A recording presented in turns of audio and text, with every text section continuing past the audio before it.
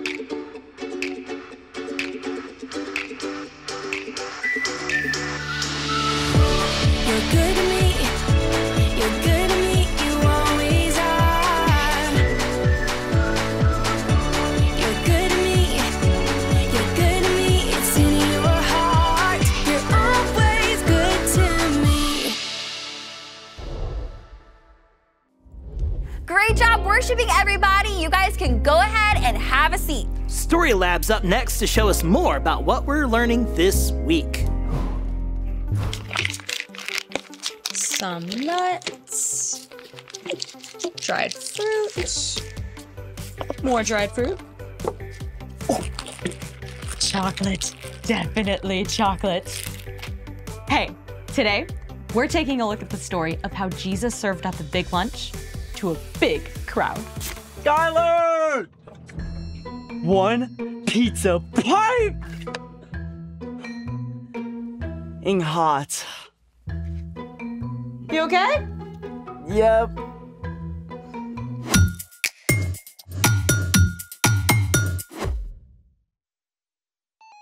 Hey guys, I'm Skylar. And I'm Sebastian. This month, we're talking about how following Jesus changes the way we treat others. Right, Sebastian? Um, Still not feeling great. I dropped your lunch. Total klutz move. It's okay. I didn't really want pizza. You're literally wearing a pizza shirt. I. And that growl came directly from your stomach. Okay, but that's besides the point. I mess up all the time. Mistakes and accidents happen. You're worth so much more than a dropped pizza. I guess. I just want to go back and change the great pizza catastrophe of 24. How about we make our own instead? Make our own pizza with what? The Story Lab always comes through. Oh, and the snack pantry. I just restocked. Yeah, this could work. Let's make it. Okay, we're all set up. Uh, I got some string cheese I can use as pizza cheese. I got some tomato sauce. And I even found a can of anchovies. I definitely did not put those in the snack pantry. I want to try them. We're starting the dough for the pizza crust. You'll need two cups of water, five and a half cups of all purpose flour, four tablespoons of olive oil, two to three teaspoons of salt, one to two teaspoons of sugar, one teaspoon of garlic powder, and a pack of dried yeast. Step one activate your yeast. Yeast is a type of microscopic fungus. When it's activated, it pumps up your bread dough to make it soft and fluffy. Oh, so yeast is like microscopic cheerleaders. Ready? Okay! Kinda. To activate your yeast, mix the yeast with warm water in a small cup or bowl. Then add some sugar to speed up the activation process.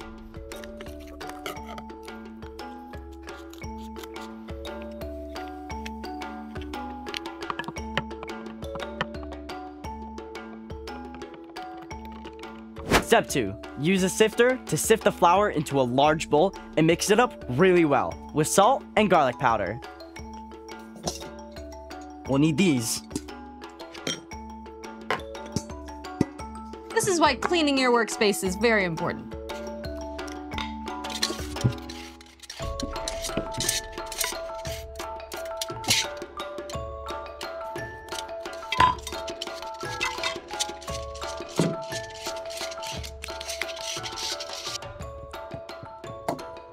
Add salt and garlic powder.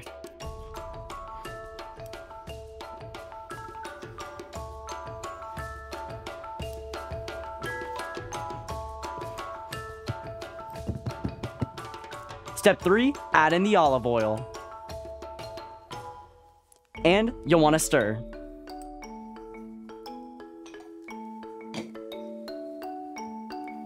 Then wait 15 minutes for your yeast to finish activating. Whoa, I see little bubbles. That's a sign that our yeast is up and ready. Yay! Go team! Step 4. Gradually add your activated yeast to your dry ingredients and mix it up.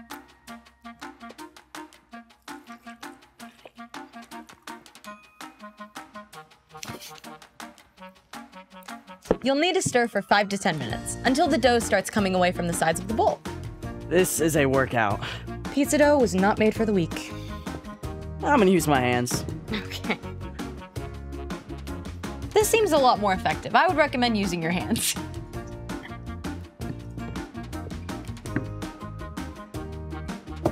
Do you move my cheese and tomato sauce?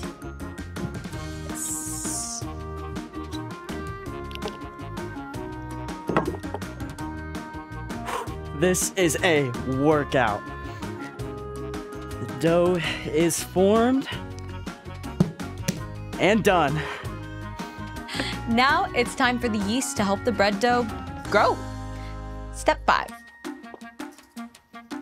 Put the dough in the bowl. And then cover with aluminum foil and let it rest while the yeast does its thing.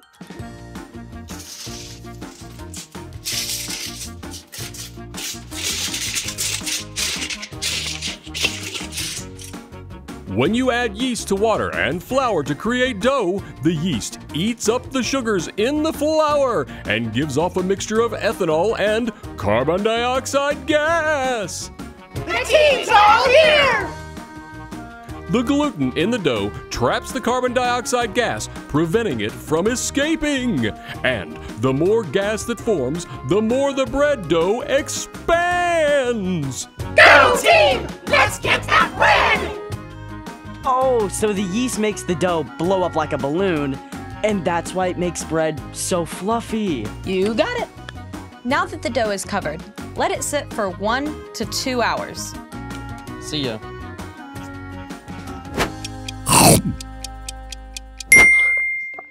Ooh, let's take a look.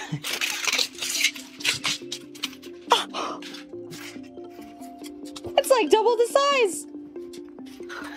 Wow, it's huge. Yep, that's the yeast at work. Now, we just have to roll out the crust, add the toppings, and bake. Awesome. And speaking of all things bread, it's time for. The story before the story. Today, we're in the book of John, which tells the story of Jesus. John was one of Jesus' closest friends. He recorded stories from the life of Jesus. John described several important miracles that point to Jesus being the Son of God, so everyone would believe. Jesus did so many amazing things, and John was always right by his side. Which is where our story starts. Take it away. Hey everyone, I'm Erica. Today's story is a feast for the mind and soul. One day, Jesus and his disciples sailed across the Sea of Galilee. However, a huge crowd of people who had seen him do miracles was hot on his trail. Hey, isn't that the guy who was healing people? It is! Where's he going? I totally want to ask for his autograph. Me too. Let's follow him. Yeah! Jesus went up onto a mountainside and sat with his disciples. But as he looked down, he saw the huge crowd approaching quickly. We want Jesus! We want Jesus! Wow, that's a lot of people. It was high time for a meal, but there were thousands of people and no easy way to find food for all of them. Where can we buy bread for these people to eat? Um, even if we could buy enough bread for each person to have just a bite, it would take more than half a year's pay. Philip was spot on. The crowds were hungry, and the disciples didn't have the money or food to feed them. The only thing that made sense was to send them away to fend for themselves. But not everyone had come unprepared. One little boy had brought some food. Um, Jesus, this boy here has five loaves of barley bread and some small fish that he's willing to share. My mama said sharing is caring. That's great, kid, but how far is this gonna go with that giant crowd? Have the people sit down. If you say so. There were more than 5,000 people present, maybe more than 10,000. Jesus had everyone sit down on the mountainside, and then Jesus took the loaves and gave thanks. Oh, hey, are we getting snacks? Yummers! Jesus began passing out the loaves and fish to the crowd. Somehow, there were always a few more pieces, and then more and more and more until everyone ate as much as they wanted. Hold up. Didn't we only pass out like seven things? I'm no mathematician, but. After everyone had finished, Jesus told the disciples to collect the leftovers. They gathered what was left and filled, get this, 12 whole baskets with the remaining bread and fish.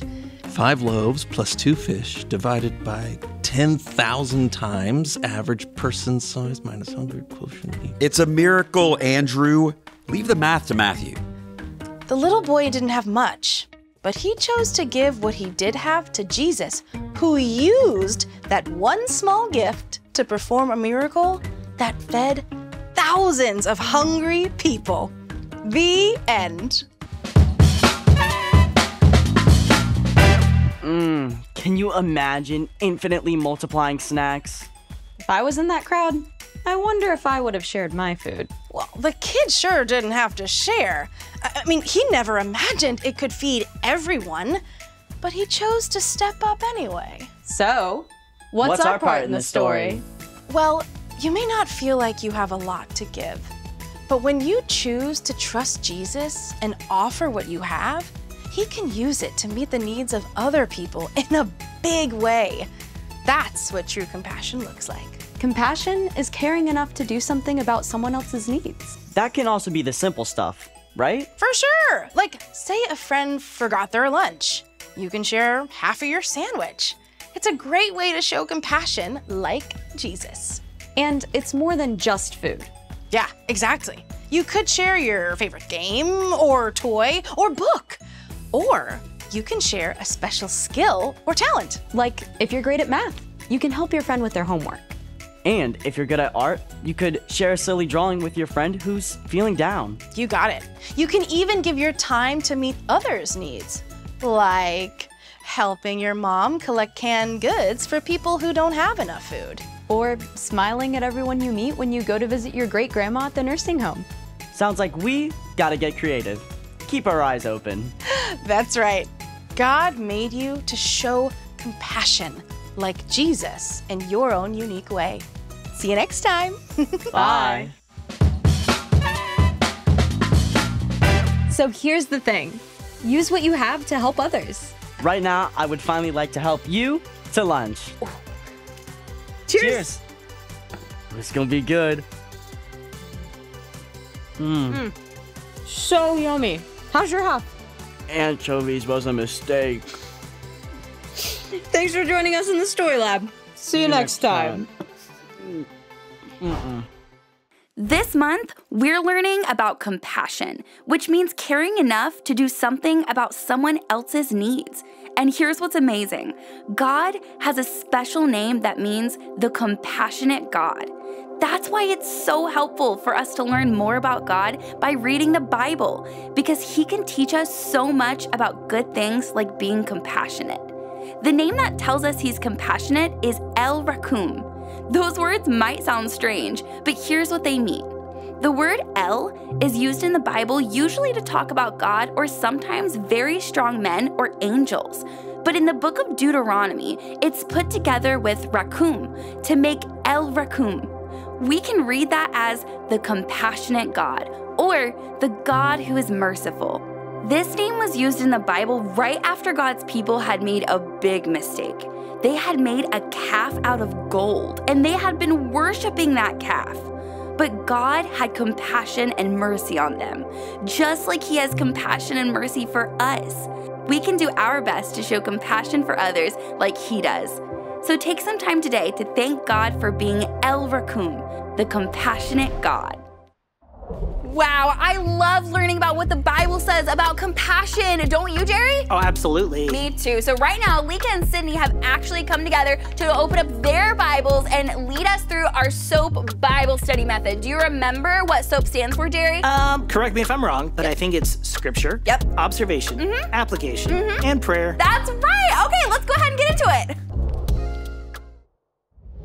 What's up, you guys? It's Alika and Sydney, and we are going to do all things Bible today. We're learning about compassion this Mm-hmm. month, people, and our Bible story is going to help us. This is a special way of learning, right? It's kind of like a thing that we're Yeah. doing at this point. It's a method. and it's called what? The soap method. The soap. Soap.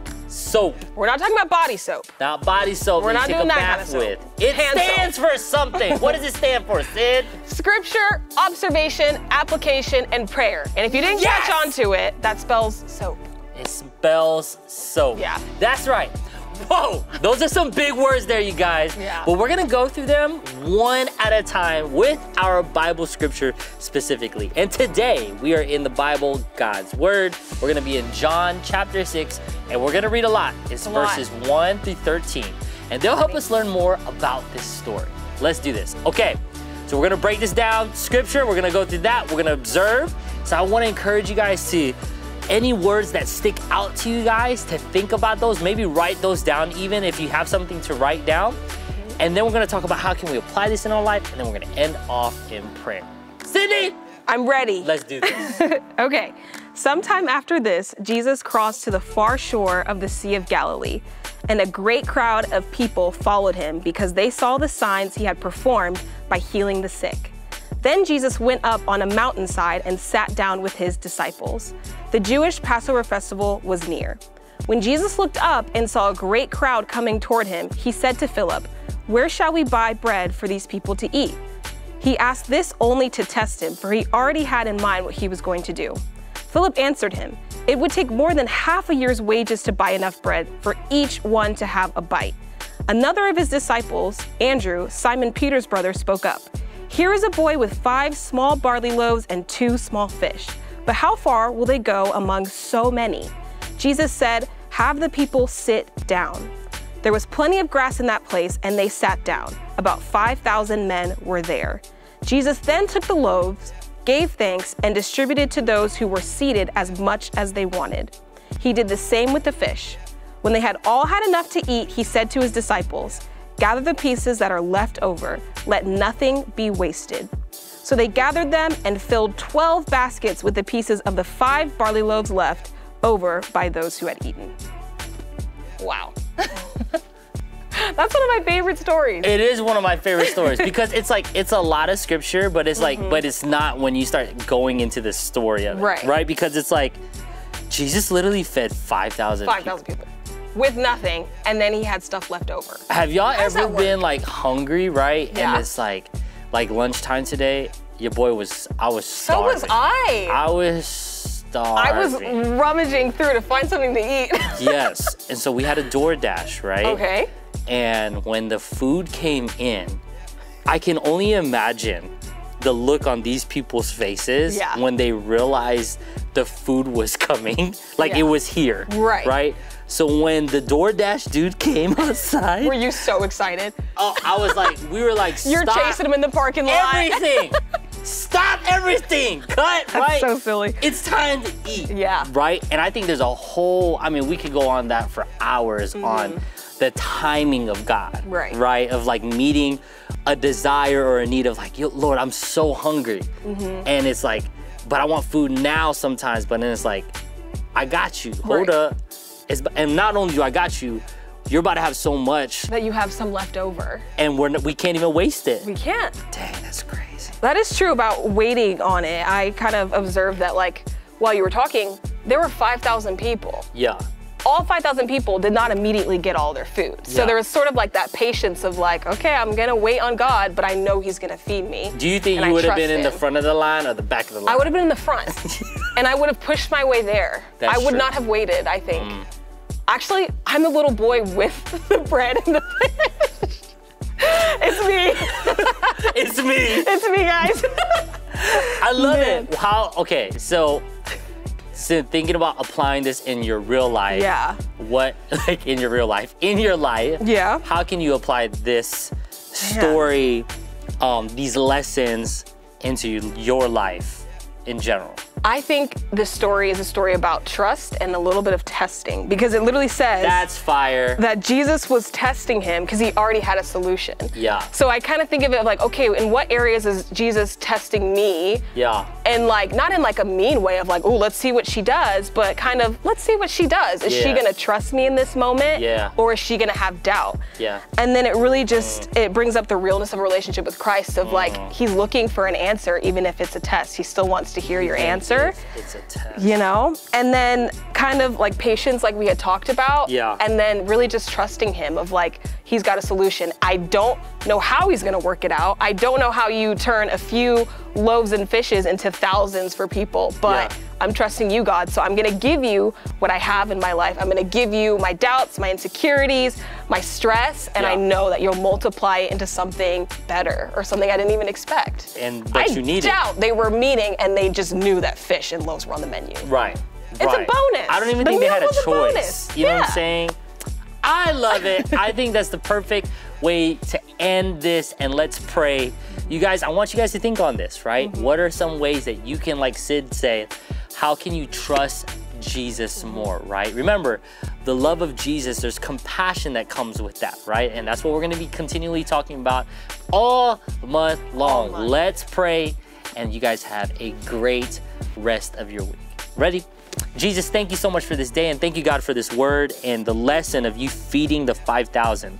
We ask that you teach us through your word on how just to trust you more, but also just how to get to know you deeper and better, that you always have a plan for us. Thank you for your compassionate love for us. In Jesus' name we pray.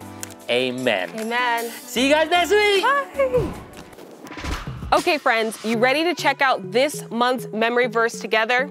Learning scripture is one of the best ways for us to learn about God and how He wants us to live. This month's memory verse is Matthew 5:16, which says, "In the same way, let your light shine before others, that they may see your good deeds and glorify your Father in heaven." this verse helps us understand that compassion, caring enough to do something about someone else's needs, is a great way for our light to shine and bring God the glory. Okay, I've got a great challenge to help us memorize this verse. I'm gonna show you something called word wipeout. You ready? Okay, so we've obviously got the verse written here on the whiteboard. I'm gonna say it out loud first. In the same way, let your light shine before others that they may see your good deeds and glorify your Father in heaven. Okay, now I'm going to choose a word to erase. Let's Okay. see. Mm, I think let. Okay. Oh, wipey. Okay, now I'll say the verse again, but now that a word is missing, I'll have to remember it. Or if I don't remember it, I'll look it up to remind myself. I'll get the Bible or the Bible app. Okay, I'm gonna say it. In the same way, let There your you light shine before others, that they may see your good deeds and glorify your Father in heaven. Okay, so the more words I erase, the harder this is going to get. I'll erase one other word and see if she can get it right again. I'm not gonna look this time. Okay. I feel like I looked last time. Okay. I did a short word for you. so A short word. Yeah. Okay. oh. okay. In the same way, let your light shine before others that they may see. Yeah. Oh, your good deeds and glorify your Father in heaven. Uh, uh, uh. Okay. So far, I'm doing well. So far, so good. What do you say? You guys try this this week. See how many words you can erase and still get the verse right. If you don't have a whiteboard, you can use a pencil and erase the words, or if you don't have a pen, just scribble out the words one at a time. However you play, give Word Wipeout a shot this week so you can keep learning Matthew 5:16. Remember, it's not always to live like Jesus, but this verse is such a great way to help us do that. We'll catch you back here next week with a new challenge for a new memory verse. All right. Now, I think we're about ready for game time. So let's see what we're gonna play today. Bye, guys.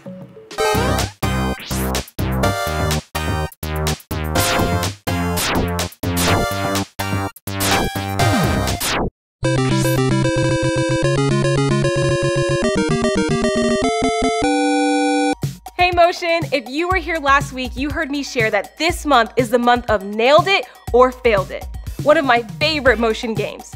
This week, we're giving a fond farewell to a summer of poolside fun by playing Nailed It or Failed It Pool Edition.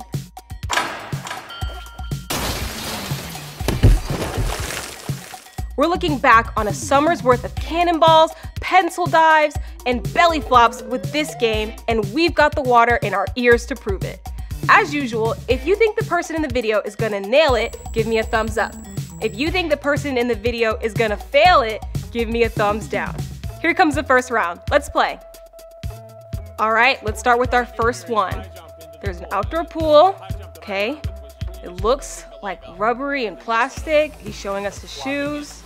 He's gonna flip. It's very clear that he's gonna flip in there. All right, we're getting ready. Let's see. Oh, Mm, he's really confident, y'all. I, I think this is about to be nailed it. Let's see though. Ready? Oh, I'm excited. Okay. All right, thumbs up if you think he nailed it. Thumbs down if you think he failed it. I think he nailed it. He's really confident. Let's see. Mm. Oh. he didn't nail it. It's like the pool spit him back out. They said, get out of here, dude. That is funny. Okay, the next one. Okay, what are those called? Um, diving boards? There we go. He's jumping, he's jumping again. Ooh. All right, I think, mm, I don't know. Thumbs up if you think he nailed it. Thumbs down if you think he failed it. I think he failed it because he was looking really close to the diving board, y'all. Let's see. Oh no. Ooh, oh. Spoke too soon. He nailed it. That was pretty cool. Ooh, this looks like someone's backyard. Wow, right to it, right to it. All right, thumbs up if you think he nailed it. Thumbs down if you think he failed it. I think he failed it. Something about backyard swimming pools. Yep, yeah, he failed it. The diving board failed him. It's just a big fail. you count for him. Here's Aaliyah. another one. He's at the lake. okay, ooh, all right. Thumbs up if you think he nailed it. Thumbs down if you think he failed it. I think he failed it because he's just going, just going in. He needs to relax. just You count for him, Aaliyah. Test the water out, you know? Let's see. he failed it. People need to check their diving boards. This looks like it's like a brick and a plank of wood. What are we talking about? Okay. Oh, wow. That's really high. Oh. Thumbs up if you think he nailed it. Thumbs down if you think he failed it. I think he failed it because that's not safe. Mm, I could be wrong. Let's see. Oh, he nailed it. Was that a pencil dive? Something like it. A reverse pencil dive. Yeah. All right. He's just, mm, nope. Something about those swim trunks. I think he failed it. Alright, let's see. yeah, you guys, these diving boards are not good right now. I mean, you can trust some of them, but just, man, that looks painful. Okay, she looks like a professional, y'all. I think she might nail it. All right, thumbs up if you think she nailed it. Thumbs down if you think she failed it. I think she nailed it. Let's see. She's ready. She's got her arms out. She's bouncing. Oh. I know. That must. All those people watching. Oh, I'm so sorry. She failed it though. Another diving board. Okay, we're on another lake. I don't trust these diving boards, y'all. Thumbs up if you think they nailed it. Thumbs down if you think they failed it. I think they failed it because these diving boards are not doing well. Mm. Oh, wow, that was actually really good. Better than the professional. That's, ugh. All right, this is high. Okay, y'all, let's see. They're like a little tiny people. Oh, okay, thumbs up if you think they nailed it. Thumbs down if you think they failed it. I have a feeling this is a fail. He's just running, just relax. oh, yeah, I was right. He failed it. Did not think that one through at all. Trampoline and a pool. Y'all, I already have my answer. I already have my answer. No. Thumbs up if you think he nailed it. Thumbs down if you think he failed it. I'm gonna stick with thumbs down, y'all. Trampolines, pools should not be next to each other. They shouldn't be jumping from the pool to the trampoline, trampoline to the pool. It's just, oh. I spoke too soon. Very nice. And too much. It's fine. Great job, everyone. It might be time to hang up our bathing suits, but we'll always have the memories we created at the pool this summer, as well as very sore stomachs from all the belly flops we did. See you next week, Motion. Ah, man, thank you so much for being with us today. Uh, we are learning so much about compassion, Liz, aren't we? We really are. I love to learn about compassion. I can't wait to continue learning more and more about it as we read our Bibles every every week together. It's Well, gonna be awesome. Hopefully, I learn a lot more about it because I think I still have a lot to learn. Yeah, you're really getting there, but that's okay. That's why we come together every week and we open up our Bibles, and you can open up your Bible um, at home every day, and that'll help you learn more about it too. So, um, exactly. But remember, VIPs, uh, we had some some special instructions that we told you to stick around for. If it was your very first time joining with us, make sure you tell your grown up in your house to check below this video. There is a link just for them so they can give us some information so we can reach back out to you and say hi. All right, everybody. So now we're going to go ahead and pray and thank God for teaching us everything we've learned today. You ready, Jerry? Let's do it. All right. Jesus, thank you so much for all you've taught us today. Thank you that we're able to learn about compassion from your word. Help us to be able to help other people when they're in need. In Jesus' name, everybody said, Amen. Amen. Good job, everybody. Well, I guess it's all for this week, but we'll see you next time, right, Jerry? No, no, no, What? no. What? Time for spicy nuggies. Not spicy nuggies, no! All right, let's get into it. Liz, can I be honest with you? Yeah. This one's a little more pungent than last week. Jerry, I tell you what, I can literally already smell it. Like, it, it smells like garlic because guess what, kids? It's garlic hot sauce. Yum. I'm so nervous. Last week was like the lowest kind of level spice, and it still was really spicy. And so I'm kind of nervous about what this is gonna be because I kid you not, it is so potent. It's already on this plate. If you can see, I got my chicken nugget and I've got this hot sauce and woo! Okay, it is. It's. I feel like it's just gonna make my eyes water just being close to me. So Yeah, I don't feel. I feel like you're not supposed to use that much of it on I- anything. Probably not. I feel like I'm using it more as like sauce rather than like like a mm-hmm. sprinkling, Yes. you know? So, okay, well, I guess I'll just go ahead and go for it. Jump in. Okay, all right, all right, we're gonna get it really good. This will teach you to read your Bible more, Oh, no, that was a weird question though. Very weird. I, I don't know. I feel like it was a trick question. Okay, we'll see. Oh, I'm nervous. That's a lot. Wow. oh. Okay, hold on. Okay. Oh, okay. Yep. Mmm, level two. Oh my Mm. goodness, no, no, no. Okay, my mouth is on fire. It's literally on fire. okay. Um. Here, Liz, would you like me to handle hosting from here on out? Okay. So, kids, uh, what Elizabeth is going through is both mental and physical trauma. Um, if she continues to get questions wrong, it's only going to get worse. What? It's only gonna get worse? There's five levels of this, Liz. And this is the second one? This is the second one. Jerry, it's like, it's like building. Like I said, I think the mental trauma is worse than the physical It's trauma. gonna make me cough. My eyes are starting to water. My You're eyes get- starting to water. You're gonna get chemical burns I'm in your mouth. I'm literally starting to sweat. It's so hot. I have not seen your face this red ever. I know. It's so, so hot. Okay, wait, so, and this is only the second week? Only week two, but God. you're gonna get the rest of the questions right. So. Okay, yeah, exactly. I will. I will. And you're gonna not have any more trick questions, right? Moving on. okay, okay, everybody. Ah, okay, so hopefully next week I will get it right and I will not have to do this ever again. We'll see. Okay, we'll see. We'll we'll get into that and we'll find out next week, right?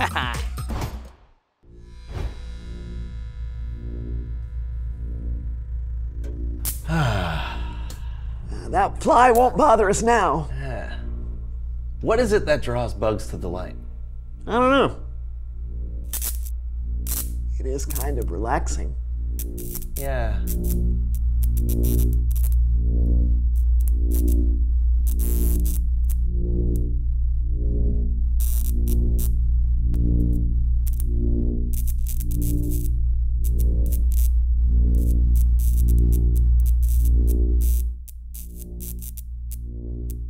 Must get closer. It's so beautiful. Humans.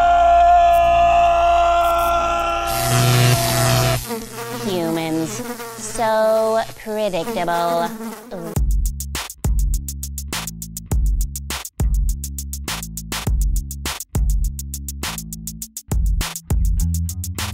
Send.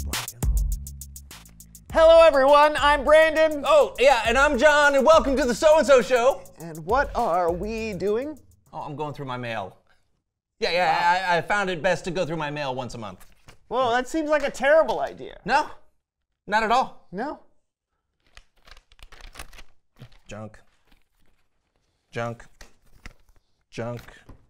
Junk. Yep. No, no, a sweepstakes is never junk.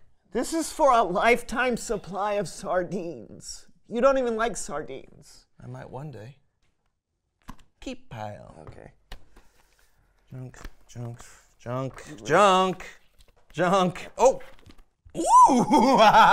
what is this? Mm-hmm. Sound effects. You're invited to a party! Oh, that could be fun. That could be. See?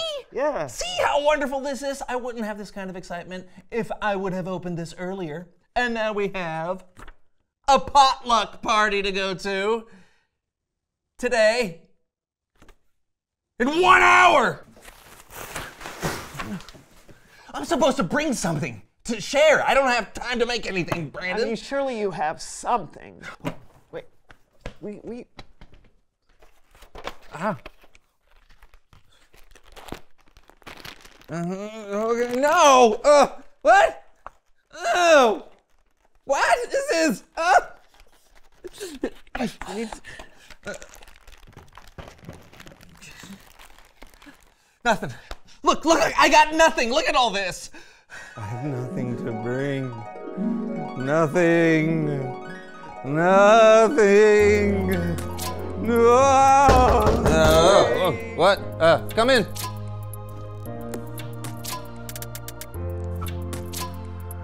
What is that?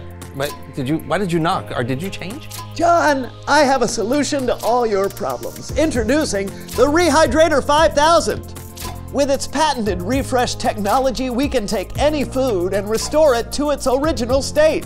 Oh wow. Okay. Okay. Will it work uh, for this food I have for the party? Yeah. Let's try these raisins. Uh.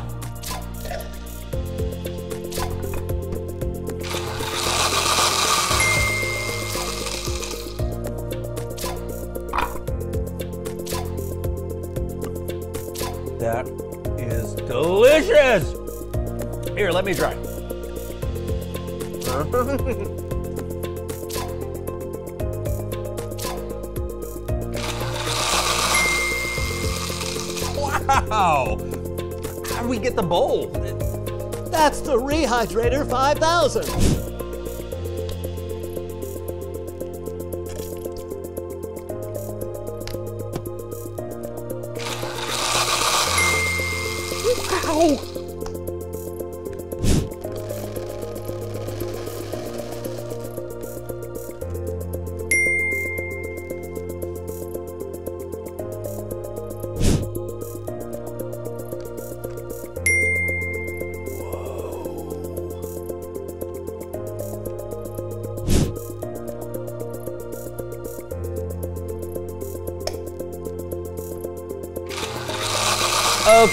I think I can make this work. And if only I had some cheese, that would be perfect for the party. Oh, oh, oh, uh, of course!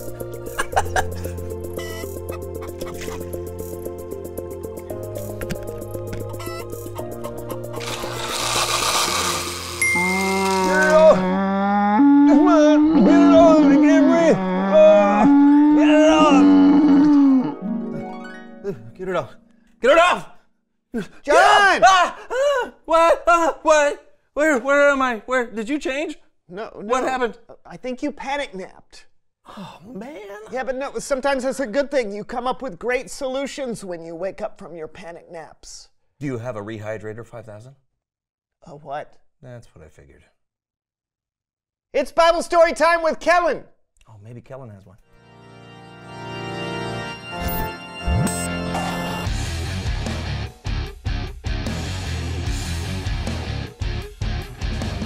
Hey, fellas. How's it going, Kellen? I'm great. How are you doing? Well, I'm supposed to take some food to a party, but I have nothing to bring. You know, a lot of times it does feel like we may have nothing to bring, but our story today reminds us that God can use the smallest thing to do something incredible. Oh, that sounds great.